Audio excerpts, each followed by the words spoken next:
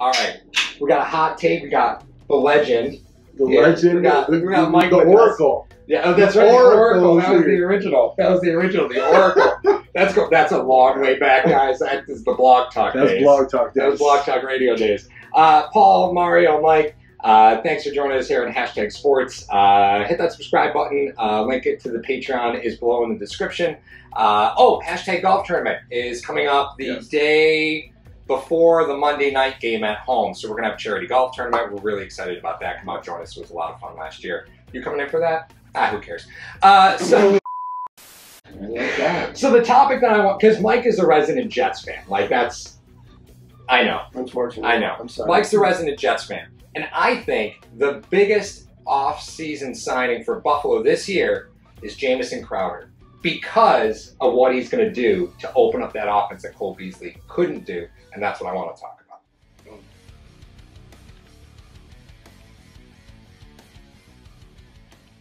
Hashtag Sports is proud to partner with Mr. Rogers Homes. Sean Rogers is a proud Western New Yorker and is now your Arizona relocation specialist. You can see his reviews as a top 1% agent on Zillow, Homes, and Trulia.com. Go ahead and download his free Arizona relocation guide found in the description of this video. Subscribe to his YouTube channel, and as Sean would say, God bless America and go Bills. It's funny. I will see your Jamison Crowder, and I will mention this a little bit later in the video, and I will raise you OJ Howard Okay. because we're going to talk about him too. Oh no! Come on, you're loading the gun. You're loading the Bama gun for this guy. Absolutely, Oh, hundred percent. come on. Roll Tide. Hey, read the room, man. so Jamison Crowder, you know, I was surprised number one at how old he was. Yeah. um, he's you know He's a lot been around forever. I know, and he, he's a lot younger than Beasley. By the way, I was watching the Wes Welker Football Life, and they started to say they said something like, "Oh, Wes Welker opens up so many more opportunities for smaller guys in the slot," and then they show a picture of Edelman, then they show a picture of Beasley, then they show a picture of Crowder, like they, in succession. I was like, "Okay, this is he fits the mold, he fits the profile," but does this sit does Crowder does the Crowder signing, although he will be able to do things that Beasley does, but Beasley didn't.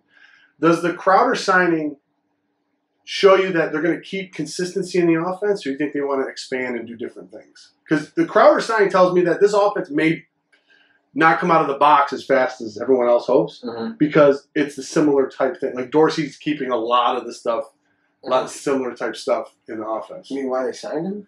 No, no, I'm saying that like if you wanted to go in a different direction, if Dorsey wanted to do something different, Why bring Crowder? why bring Crowder? Right. Oh no, they. I don't think they wanted anything different. I think they brought Crowder because they wanted to have a slot receiver that was vaccinated. Guy's good. Guy's legit. No, he'll he'll make you better. He'll make you better. You know, I, it's interesting because when they signed Emmanuel Sanders, we, we were saying Emmanuel Sanders is going to is going to replace poor tight end production, right? Yeah. Because Dawson Knox was having struggles at the time. We're like, listen, Love Dawson eh, Knox too. well, now he's Oh, he loved him for a while. No, I've, I've I've I've been on that train for a while. Yeah. SEC. Baby. Ever since he ran over that Bengal. Who's that giant? I had to go back and get my Alabama tape out. Put Ole Miss? Yeah, Ole Miss. All right, let's see what's going on. he, had, he had three targets, Dude, but just a Like, giant of a in man. November. He had three targets. You're taking Josh Allen, you're basically putting him at tight end. That's what you're doing. That's true. But you know, we thought that Emmanuel Sanders was going to supplant or supplement some of that tight end play, and Yeah. that's not how they used Emmanuel Sanders at all. They used him on the perimeter, Yeah. which is not really what I expected. Emmanuel Sanders played a lot in the slot in New Orleans for Drew Brees. Mhm. Thought that was going to be the way that he was used, and that's not what happened. Right? Crowder, I think. Well, everybody knocks him up to be a slot receiver. Crowder's played every every wide receiver He can. position He in the can. NFL, Yeah. and he can. Beasley limits you there. You're never put Beasley on the outside. Never played that position. Mm. But Crowder has, and he's played in a thousand places, right? So Yeah. I think Jamison Crowder allows you to be more versatile with your sets because you could you can put him wherever you want. I think that's the key. I think the fact that you're going to have a lot more and a lot different looks. You're going to have the same plays, but you're going to have um, out of a lot of different looks. I mean, and then that's why I said I wanted to raise you. The OJ Howard is the fact that he's a guy you can split out wide because he's so athletic and he's so versatile. What do you do from that? Do you put the do you put a linebacker out there? You take a linebacker out of the box. Now you got Singletary and Cook in the backfield. You already took a linebacker out of the box. Mhm. You know, it, it helps that run game, which they're switching over to a zone scheme now anyway. Um, Which this line will handle just fine. it, it suits this line a lot, Yeah. a lot better. I think with Cole Beasley, um, let's say you run a twin set or any type of Houston set, um, you put Cole Beasley over, you could run corners over if you want. You know what Yeah, I'm saying? yeah. You can do that defensively. Yeah. You can't do that. You can't do that with Crowder. Mhm. You can't No. put corners over because now you're you're splitting OJ Howard out wide. Right. You're gonna, you know, you're gonna. Right. There's just a lot more versatility. Well, I Yeah, think so- Crowder and everybody loves Isaiah McKenzie, right? They call him the face of the franchise. You know, everybody loves Isaiah McKenzie, but when McKenzie was on the field, there was like a sixty percent chance he was going to get the football, right? Like it was high because the snap count was low, Yeah. right? Yeah. Crowder can do similar things that McKenzie did, and now it's not. You're not tipping your hand No. as much. I think right? that's the biggest thing. You too. want to confuse the defenses. You want to limit to what they can do to you, Mhm. and this just helps. Right. Well, know? personnel is, you know, Yeah. so much. And that's the thing I think a lot of times, you know, fans will watch the game and they don't always pick up on the personnel changes, but you can tell who's going to be focused by personnel. Yeah. Like, you, you can see it. And when you have a player like O.J. Howard, like Dawson Knox, those are tight ends that can get wide. That's why a player like Kyle Pitts was so coveted because he's just an animal. Can run. You do it. Yeah, you he's can go a- anywhere. yeah. But He's he's a wide receiver that plays tight end. Right. yeah. He's He's Right. not. not a tight end that plays, you know. He's, he's Blocks- but he's more like of the Jimmy receiver. Graham mold, where the fact that uh, Jimmy Graham could do it a lot better than Pitts. Pitts is not an inline blocker. No. And if you're coming out and you, you like, if you put OJ Howard or Dawson Knox in, let's say for instance, he hasn't had a good track record with it, Dawson Knox, I mean, but OJ Howard's been a little bit better. If you put him inside on on, on the line, the defense really won't know. Mhm. Okay, he, he can still be a blocker for you, and he can still run routes for you in there. If you put Kyle Pitts in line, you know he's not blocking anybody. He's Right. not. You know, he- Right. and uh, Graham did it sparingly. Like he was lined out wide, what seventy percent of the time with Mhm. Brees. Yeah, because he tried to he tried to leverage a franchise tag Yeah. wide receiver. He said, "I Yeah. play wide receiver eighty percent of the time." What are you talking about? So Yeah. that all being considered, um, I think you guys speak to it where it's the versatility. It's like, what are they going to be coming out and doing? Mhm. If you go to a two tight end set, um, and you got Knox and Howard, then you have Davis and Diggs, you could just as easily run the ball as you could throw it out of that set. Yeah. Seriously, and um, I think that's the biggest thing that Dorsey's going to try to do. But we have to.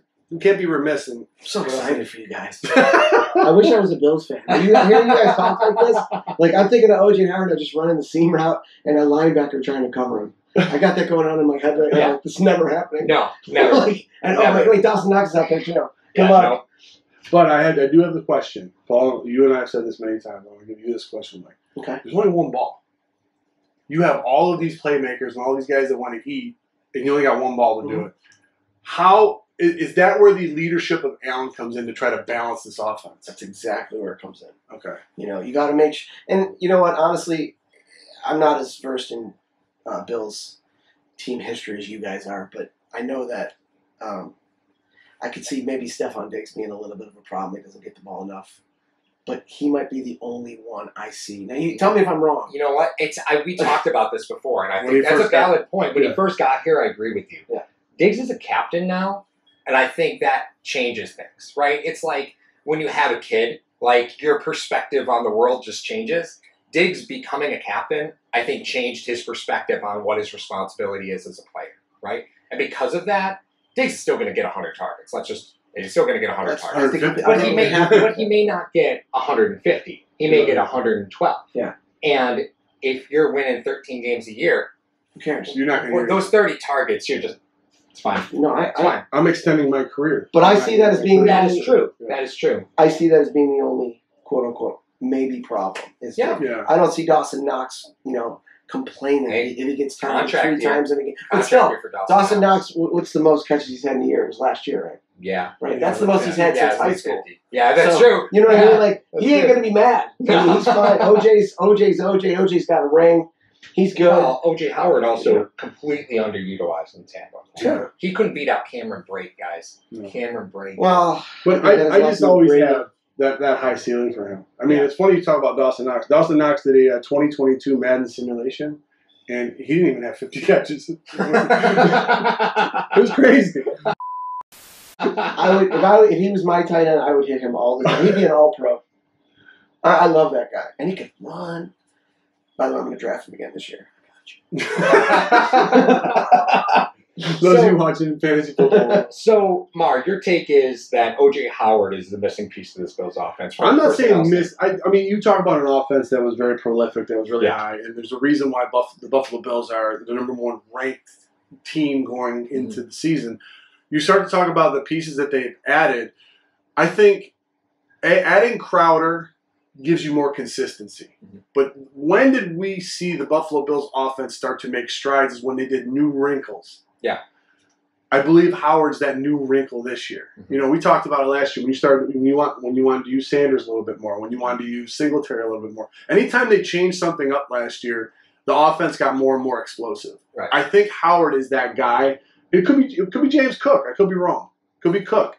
But I like the I like the potential of this guy of just how much of he's an athlete. You can line him up anywhere you want, and he could be a, he could be a force for you. I just don't think Tampa and Arians.